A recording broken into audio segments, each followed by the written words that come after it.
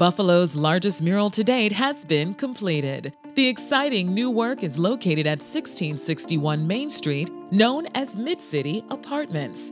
It's transformational for the Cold Springs neighborhood, said Nick Sinatra of Sinatra Real Estate, owner and developer of the building. Tavar Zawacki captures the essence of the transformation on that block, in that neighborhood, and in our region.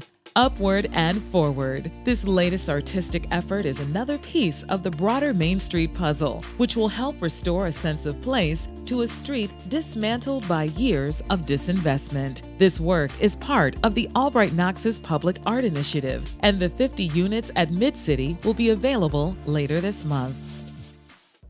This is BR60, Buffalo, 60 seconds at a time.